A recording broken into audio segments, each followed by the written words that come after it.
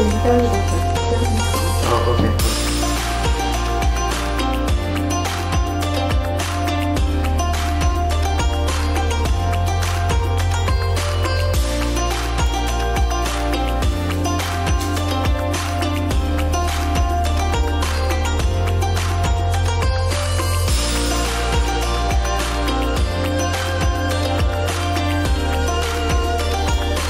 It's a fish. I'm, I'm trying to make a fish right now.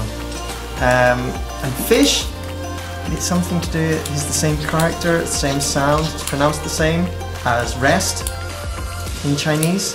So the idea is that you celebrate the fish because you want some, uh, hope everyone gets a good rest over the Chinese New Year.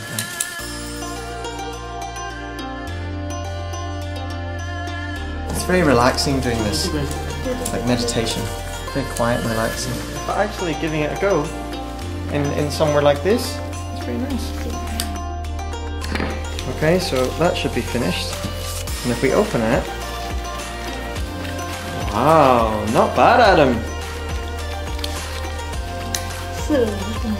Sugayu, we got four fish together. It's pretty good. Happy with that for the first time. Not bad. 就是传统意义的那个鱼戏莲，鱼戏莲花。